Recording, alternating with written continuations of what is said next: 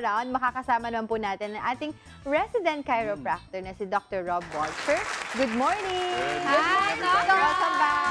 Nice to see you again. Interesting topic Yes. today. Oo, we are going to talk about sciatica. Yes, sciatica. Mm. Okay.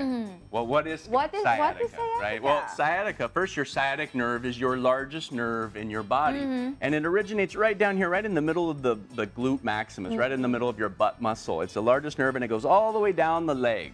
So, oftentimes, you know. People will think they have sciatica if they have some type of a numbness or a sharp pain in their leg. Or burning sensation Yeah, also. Right.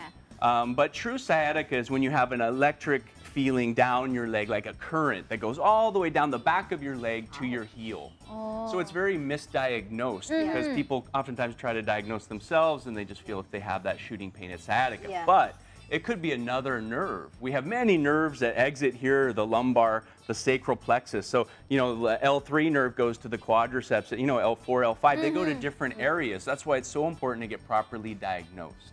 Sir, Okay. um, Doc, most of the people, or some people would say uh, they develop sciatica because of uh, putting wallets on their, Yes, uh, in, in their is- pockets. Is that true? That is a very common cause. So, so sciatica is oftentimes caused by something called piriformis syndrome. Yeah, that's Sure right. heard That's that, right? right. Yeah, I'm doing going through some therapy for that. So, so piriformis muscle runs obliquely across your glutes. It's a muscle. And so why does that muscle become inflamed? Because of repetitive use, because of some type of stress. Mm-hmm. So oftentimes your pelvic bone is out of alignment.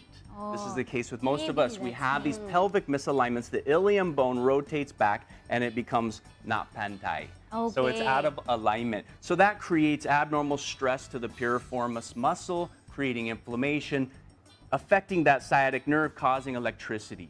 So yes, going back to your question, yes, wearing a wallet in your back pocket is a huge cause of pelvic misalignment. So that, that wallet that you sit on every day hits this bone Yeah. and it causes the pelvis to rotate back.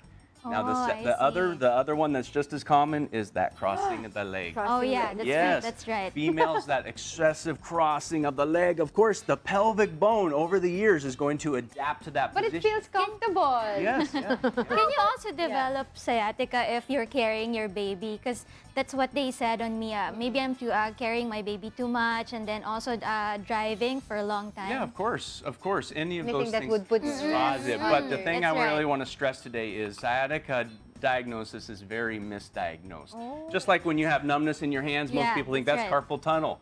But it's usually not. It's something stemming from the cervical spine. So there again, there's many nerves here. So you can develop misalignments in your lumbar spine. You can develop bulging discs that hit other nerves that are actually causing the numbness or the sharp pain. So it's not always sciatica. Mm. Doc, I just wanna go back. Yeah, Tito Diego. Uh, you mentioned cross legs. How about this kind of form? De Yung. What we call de De quattro. quattro. Does it The stretch? also enable you to have uh, sciatica? No, So that you're- you're position. Yeah. that Yeah, the position to male sit cross? That position. yeah. Yeah, I mean anything And you do, stress on your... anything you do repetitively, especially on one side more than the other, is going to create imbalances.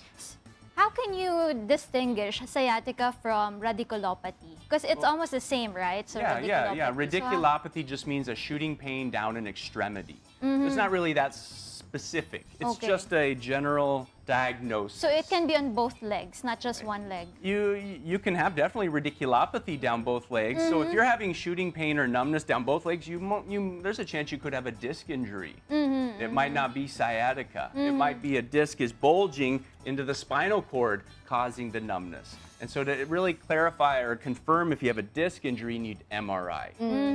What about for lack of vitamin B? Can you also uh, can you also have sciatica because of that lack of vitamin B? I would Because it's no. also for the nerves, right? No. Anything No, that would put no. stress yeah, on Yeah, it's not really from lack of vitamin B that's going to cause sciatica. No, it's more of a, a physical stress, a repetitive stress causing inflammation to the piriformis mm-hmm. muscle. But for sciatica to be able to diagnose it, you have to undergo an e- EMG test, right? Mm, that's a, Electromyography that's a way, test. yeah, you can do that. A nerve conduction test. It's going to measure the latency, the, the nerve mm. conduction down the leg. So that is one way to confirm it.